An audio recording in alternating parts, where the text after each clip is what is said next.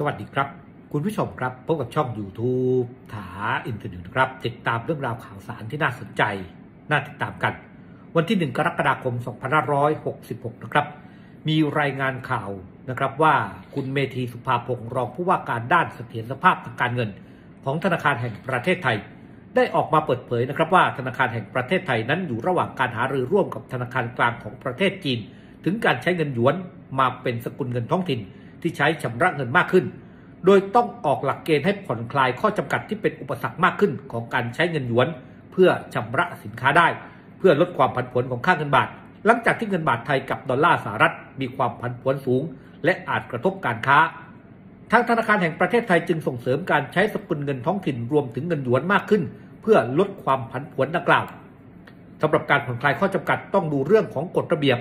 ดูว่าสถาบันการเงินให้ความร่วมมือผลักดันหรือไม่ และลูกค้ามีการเปลี่ยนไปใช้เงินจากดอลลาร์ไปเป็นเงินหยวนมากน้อยขนาดไหน ซึ่งที่ผ่านมาการค้าระหว่างไทยกับจีน ได้ใช้สกุลเงินหยวนอยู่แล้ว และเชื่อว่า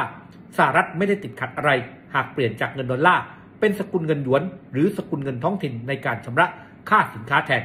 หลักเกณฑ์ผ่อนคลายข้อจำกัด ใช้สกุลเงินหยวนแทนดอลลาร์ในการชำระค่าสินค้าต้องอยู่ที่ว่าธนาคารและลูกค้าจะเปลี่ยนมาใช้มากน้อยแค่ไหน ก็จะใช้หรือไม่ใช้ แต่ว่าธนาคารแห่งประเทศไทยนั้น จะผ่อนคลายไว้ให้ เพื่อเป็นการส่งเสริมให้ใช้สกุลเงินท้องถิ่น มีการเพิ่มการอำนวยความสะดวก แต่จะเลือกใช้หรือไม่ขึ้นอยู่กับธนาคารและลูกค้าเป็นหลักนี่คือความเคลื่อนไหวที่น่าสนใจอย่างยิ่งนะครับ เมื่อทางธนาคารแห่งประเทศไทยนั้นได้ออกมาบอกว่า ได้มีการคุยกับจีน ในการที่จะหนุนการใช้เงินหยวนในการชำระสินค้า แทนการใช้สกุลเงินดอลลาร์สหรัฐ เพื่อจะทำให้เงินบาทนั้นเนี่ยครับไม่ผันผวนไปมากนัก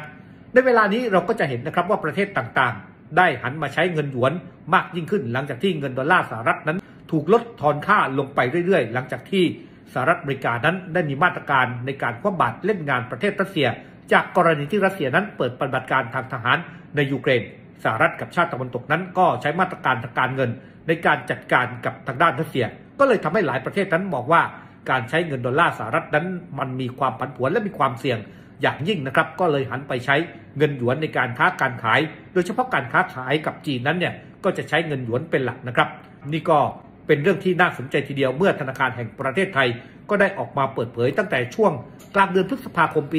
2566 นะครับว่า